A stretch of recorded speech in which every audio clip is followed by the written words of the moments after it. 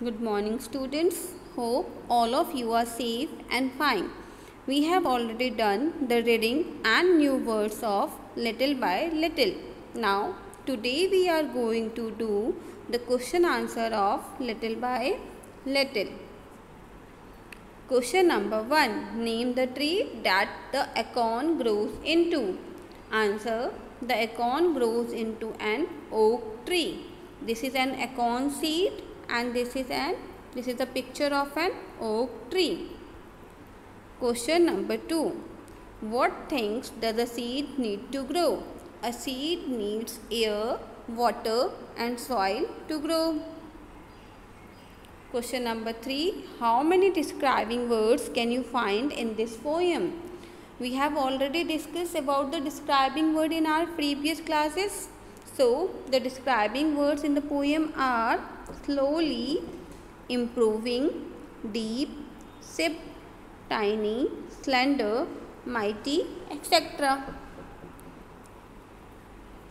Question number 4 Write three sentences on what the trees gives us. The tree gives us fruits and vegetables. Trees give us fresh oxygen. They give wood for shelter. They provide us medicine. Question number 5.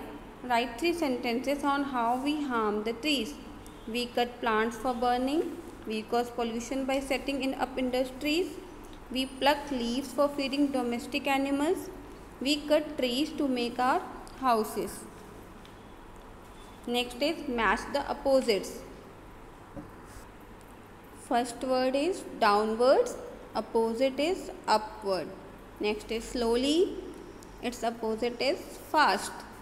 Little, big, slender. We have already discussed the meaning of slender is very thin. So opposite is fat. Mighty means very powerful. Its opposite is weak. Day, night. Now do all question answers in your notebook and learn it carefully. Thank you. Stay home. Stay safe.